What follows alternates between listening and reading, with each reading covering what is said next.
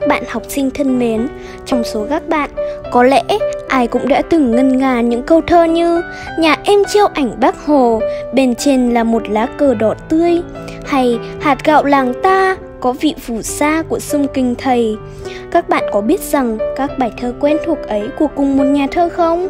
Đó chính là nhà thơ Trần Đăng Khoa, một nhà thơ gắn liền với biết bao thế hệ học sinh chúng mình đấy. Nhà thơ Trần Đăng Khoa sinh năm 1958 tại Nam Sách, Hải Dương. Từ nhỏ, ông đã được nhiều người cho là thần đồng thơ văn. Lên 8 tuổi, ông đã có thơ được đăng báo. Trong suốt sự nghiệp sáng tác của mình, ông đã viết được rất nhiều những bài thơ dành cho thiếu nhi chúng mình đấy.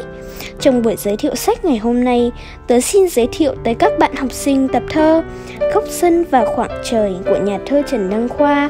Cuốn sách do nhà xuất bản Văn hóa Thông tin ấn hành vào năm 2010, có khổ nhỏ nhắn, xinh xắn, 13 x 19 cm. Trang bìa của cuốn sách là hình ảnh con cò, cây tre nổi bật trên nền vàng, một hình ảnh quen thuộc của làng quê Việt Nam, gợi nhớ cho chúng ta đến tuổi thơ êm đềm của nhà thơ. Tập thơ là cái nhìn trong trẻo, đầy yêu thương của nhà thơ với những điều bé nhỏ, giản dị của cuộc sống. Thế giới trong thơ Trần Đăng Khoa chỉ quanh quẩn trong vườn nhà với vầng trăng, cây dừa, đàn gà, lũy tre, dòng sông, con trâu đang gập cỏ. Thế giới loài vật ấy đã được nhà thơ nhân cách hóa, trở nên sống động với những suy nghĩ, lo toàn giống như con người vậy.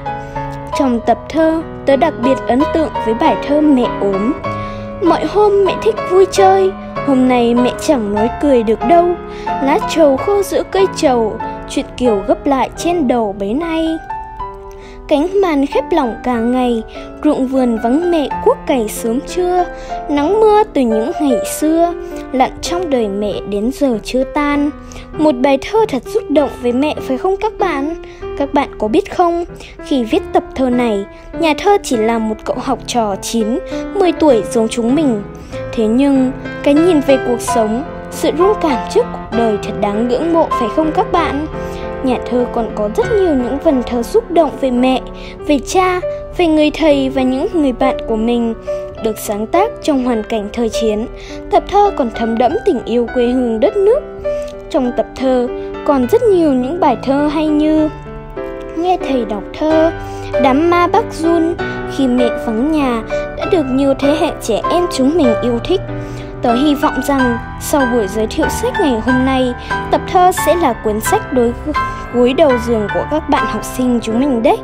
Buổi giới thiệu sách hôm nay của thư viện đến đây là hết rồi. Cảm ơn các bạn học sinh đã chú ý lắng nghe. Xin chào và hẹn gặp lại các bạn.